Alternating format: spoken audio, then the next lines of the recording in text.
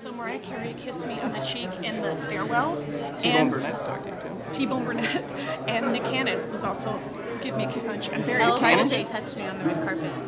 Hi guys, I'm Stephanie from the Hi, Recording how are you? Good, how are you? What- So do we have any word? Uh, let me go check my list. I will be right back. It's on a list. It's on a list. I'll see if you It's made like the the list. Communist Party list. Right. All right, thank you.